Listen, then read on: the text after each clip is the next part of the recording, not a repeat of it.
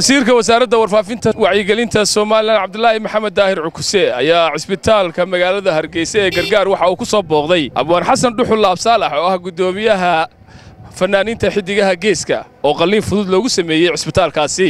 Ka hor intaanu booqanin fanaanka dhex maray mid ka mid a weerarka cisbitaalkaasi waxaa ugu dambayntii ka warramay xaaladda uu ku sugayey hadda fanaanka xasan dhuxul laabsaalax waxaana ereydii wasiirka ka mid ahaa xasan laabsaalax waxa uu ka mid yahay abwaanada da'da yar weliba kuwooda ugu mudakarsan wakhtigan maanta waxaa loo sameeyey qallin yar oo fudud. Waxaa jira isaguna abwaan kale oo afguryo la yidhaahdo.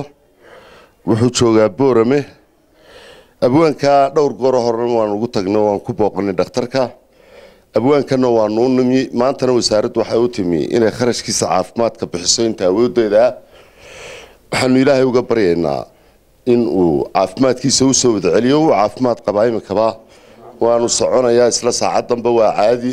Qalliinkiisu ma ahayn qalliin weyn oo laga argagaxo geestiisa xasan dhuxul laabsaalax guddoomiyaha xiddigaha geeska oo isaguna ka warramaya hadda xaaladdiisu siday tahay ayaa waxaa isaguna yidhi. Aad baan caafimaad qabaa waan wanaagsanahay.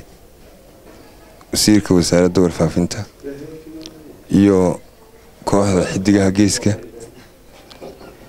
iyo ilaahii caafimaadkaygii sidii ugu habboonad iga yeelay aad baan ugu mahadnaqayaa. Waa muniir axmed cigaal cawl cabdikaahin telefishinka qaranka magaalada hargeysa